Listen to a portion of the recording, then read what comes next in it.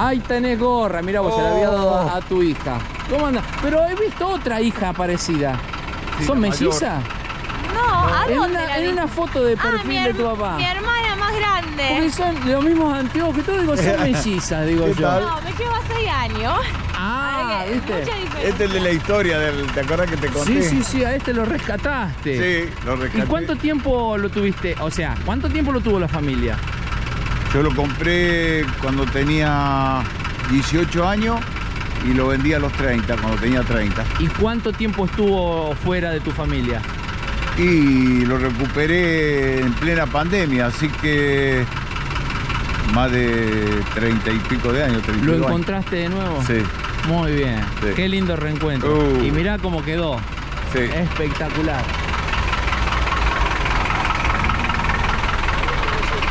¿Modelo 65? 67. 67, ah, de- en los últimos. El último, el último de los Carucitas. Una hermosura.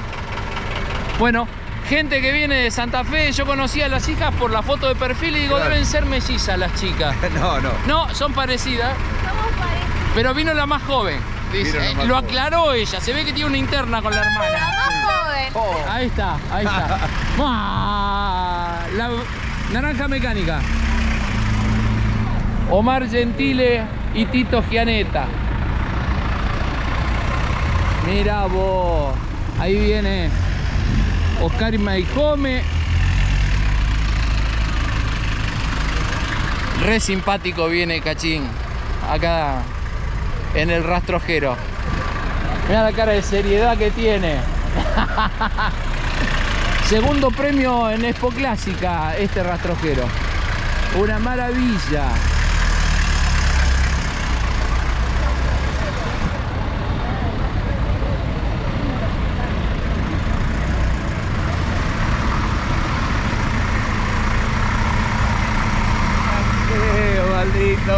Omar Gentile. ¿Cómo anda, papá? ¿Cómo anda? Bueno, hay una naranja, naranja mecánica.